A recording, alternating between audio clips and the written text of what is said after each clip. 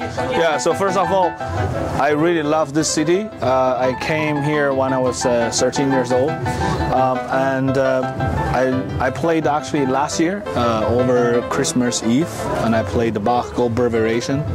Um, so I'm very surprised and overwhelmed that I'm actually in Wuhan. So in a way, it's with such a short distance uh, from last December to March. It's only three months, and I I'm now planning to go back to this beautiful city, uh, the soul of Yangtze River. Uh, I think probably in August.